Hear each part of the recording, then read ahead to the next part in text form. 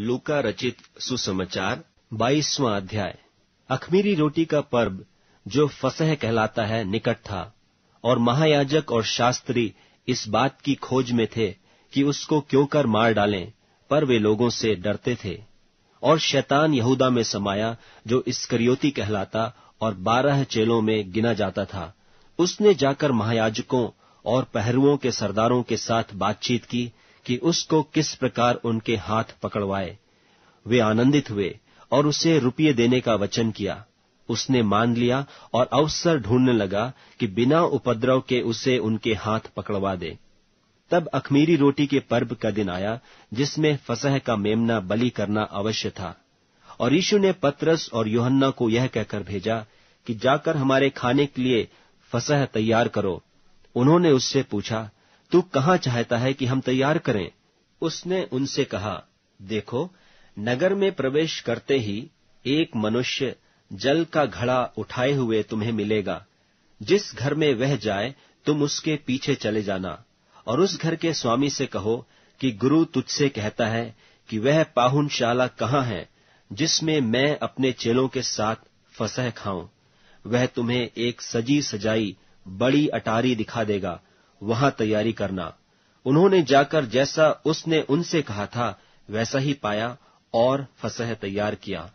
जब घड़ी पहुँची तो वह प्रेरितों के साथ भोजन करने बैठा और उसने उनसे कहा, मुझे बड़ी लालसा थी कि दुख भोगने से पहले यह फसह तुम्हारे साथ खाऊं, क्योंकि मैं तुमसे कहता हूँ कि जब तक वह परमेश्वर के राज में पूरा न हो, तब तक मैं उसे कभी न खाऊँगा। तब उसने कटोरा लेकर धन्यवाद किया और कहा, इसको लो और आपस में बांट लो, क्योंकि मैं तुमसे कहता हूँ कि जब तक परमेश्वर का राज्य न आए, तब तक मैं दाख रस अब से कभी न पीऊँगा। फिर उसने रोटी ली और धन्यवाद करके तोड़ी और उनको यह कहते हुए दी कि यह मेरी देह है, जो तुम्हारे लिए दी जाती है, मेरे स्मरण के लिए यही किया करो। इसी रीति से उसने बियारी के बाद कटोरा भी यह कहते हुए दिया कि यह कटोरा मेरे उस लोहू में जो तुम्हारे लिए बहाया जाता है, नई वाचा है। पर देखो, मेरे पकड़वाने वाले का हाथ मेरे साथ मेज पर है, क्योंकि मनुष्य का पुत्र तो जैसा उसके लिए ठहराया गया, जाता ही है। पर हाय उस मनुष्य पर, जिसके द्वारा वह पकड़वाया जाता है, तब वे आपस में पूछ पाछ करने लगे कि हम में से कौन है जो यह काम करेगा।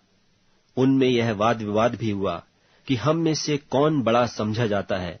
उसने उनसे कहा, अन्य जातियों के राजा उन पर प्रभुता करते हैं और जो उन पर अधिकार रखते हैं, वे उपकारक कहलाते हैं। परंतु तुम ऐसे न होना, वरन जो तुम में बड़ा है, वह छोटे की नाई और जो प्रधान है, वह सेवक की नाई बने। क्योंकि बड़ा कौन है? वह जो भोजन पर बैठा या वह जो सेवा करता है? क्या वह नहीं जो भोजन पर बैठा है? पर मैं तुम्हारे बीच में सेवक के नाई हूँ। परंतु तुम वह हो जो मेरी परीक्षाओं में लगातार मेरे साथ रहे। और जैसे मेरे पिता ने मेरे लिए एक राज्य ठहराया है, वैसे ही मैं भी तुम्हारे लिए ठहराता हूँ, ताकि तुम मेरे राज्य में मेरी मेज पर खाओ पियो बरन सिंहासनों पर बैठकर इसराइल के बारह गोत्रों का न्याय करो। शमौन, हे शमौन, देख शैतान ने तुम लोगों को मांग लिया है कि गेहूँ की नाई फटके, परंतु मैंने तेरे लिए विनती की कि तेरा विश्वास जाता न रहे, और जब तू फिरे तो अपने भाइयों को स्थिर करना। उसने उससे कहा, हे प्रभु, मैं तेरे साथ बंदी ग्रह जाने, वरन मरने को भी तैयार हूँ। उसने कहा, हे पतरस, मैं तुझसे कहता हूँ कि आज मुर्ग बांग न देगा, जब तक तू तीन बार मेरा इनकार न कर लेगा कि मैं उसे नहीं जानता। और उसने उनसे कहा कि जब मैंने तुम्हें बटुए और झोली और जूते बिना भेजा था तो क्या तुमको किसी वस्तु की घटी हुई थी? उन्होंने कहा, किसी वस्तु की नहीं।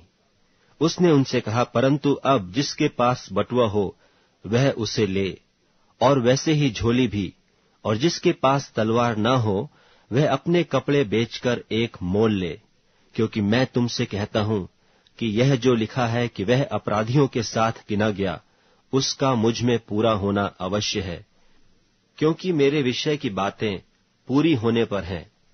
उन्होंने कहा, हे प्रभु, देख, यहाँ दो तलवारें हैं। उसने उनसे कहा, बहुत हैं। तब वह बाहर निकलकर अपनी रीति के अनुसार जैतून के पहाड़ पर गया और चेले उसके पीछे हो लिए। उस जगह पहुंचकर उसने उनसे कहा प्रार्थना करो कि तुम परीक्षा में न पड़ो। और वह आप उनसे अलग, एक ढेला फेंकने के टप्पे भर गया और घुटने टेक कर प्रार्थना करने लगा कि, हे पिता, यदि तू चाहे तो इस कटोरे को मेरे पास से हटा ले। तो भी मेरी नहीं, परंतु तेरी ही इच्छा पूरी हो। तब स्वर्ग से एक दूत उसको दिखाई दिया, जो उसे सामर्थ देता था, और वह अत्यंत संकट में व्याकुल होकर और भी हृदय वेदना से प्रार्थना करने लगा और उसका पसीना, मानो लोहू की बड़ी बड़ी बूंदों की नाई भूमि पर गिर रहा था। तब वह प्रार्थना से उठा और अपने चेलों के पास आकर उन्हें उदासी के मारे सोता पाया और उनसे कहा, क्यों सोते हो? उठो, प्रार्थना करो कि परीक्षा में न पड़ो। वह यह कह ही रहा था कि देखो, एक भीड़ आई और उन बारहों में से एक, जिसका नाम यहूदा था उनके आगे आगे आ रहा था। वह यीशु के पास आया कि उसका चूमा ले। यीशु ने उससे कहा, हे यहूदा, क्या तू चूमा लेकर मनुष्य के पुत्र को पकड़वाता है? उसके साथियों ने जब देखा कि क्या होने वाला है तो कहा, हे प्रभु, क्या हम तलवार चलाएँ? और उनमें से एक ने महायाजक के दास पर चलाकर उसका दाहिना कान उड़ा दिया। इस पर यीशु ने कहा, अब बस करो। और उसका कान छूकर उसे अच्छा किया। तब यीशु ने महायाजकों और मंदिर के पहरुओं के सरदारों और पुरनियों से, जो उस पर चढ़ आए थे, कहा, क्या तुम मुझे डाकू जानकर तलवारें और लाठियाँ लिए हुए निकले हो? जब मैं मंदिर में हर दिन तुम्हारे साथ था तो तुमने मुझ पर हाथ न डाला, पर यह तुम्हारी घड़ी है और अंधकार का अधिकार है। फिर वे उसे पकड़कर ले चले और महायाजक के घर में लाए और पतरस दूर ही दूर उसके पीछे पीछे चलता था। और जब वे आँगन में आग सुलगाकर इकट्ठे बैठे तो पतरस भी उनके बीच में बैठ गया और एक लौंडी उसे आग के उजाले में बैठे देखकर और उसकी ओर ताक कर कहने लगी, यह भी तो उसके साथ था, परंतु उसने यह कहकर इंकार किया कि, हे नारी, मैं उससे नहीं जानता। थोड़ी देर बाद किसी और ने उसे देखकर कहा, तू भी तो उन्हीं में से है? पतरस ने कहा, हे मनुष्य, मैं नहीं हूँ। कोई घंटे भर के बाद एक और मनुष्य दृढ़ता से कहने लगा, निश्चय यह भी तो उसके साथ था, क्योंकि यह गलीली है। पतरस ने कहा, हे मनुष्य, मैं नहीं जानता कि तू क्या कहता है। वह कह ही रहा था कि तुरंत मुर्ग ने बांग दी।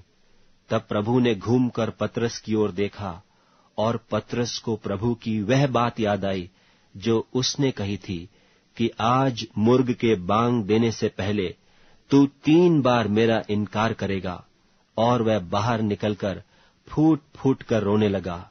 जो मनुष्य यीशु को पकड़े हुए थे, वे उसे ठट्ठों में उड़ाकर पीटने लगे, और उसकी आँखें ढांप कर उससे पूछा कि भविष्यवाणी करके बता कि तुझे किसने मारा? और उन्होंने बहुत सी और भी निंदा की बातें उसके विरोध में कहीं। जब दिन हुआ तो लोगों के पुरनिये और महायाजक और शास्त्री इकट्ठे हुए और उससे अपनी महासभा में लाकर पूछा, यदि तू मसीह है तो हमसे कह दे। उसने उनसे कहा, यदि मैं तुमसे कहूँ तो प्रतीति न करोगे और यदि पूछूँ तो उत्तर न दोगे, परंतु अब से मनुष्य का पुत्र सर्वशक्तिमान परमेश्वर की दाहिनी ओर बैठा रहेगा। इस पर सबने कहा तो क्या तू परमेश्वर का पुत्र है? उसने उनसे कहा, तुम आप ही कहते हो, क्योंकि मैं हूँ। तब उन्होंने कहा, अब हमें गवाही का क्या प्रयोजन है? क्योंकि हमने आप ही उसके मुँह से सुन लिया है।